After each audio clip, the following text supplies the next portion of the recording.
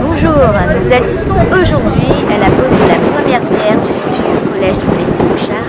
Suivez-nous. Bien évidemment, euh, très très heureux de cette réalisation, de cette construction.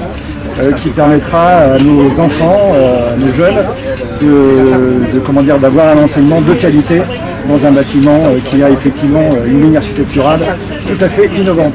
La ville grandit, la ville grossit, mais de manière très agréable. Et donc un beau collège va accompagner euh, cette évolution du Plessis.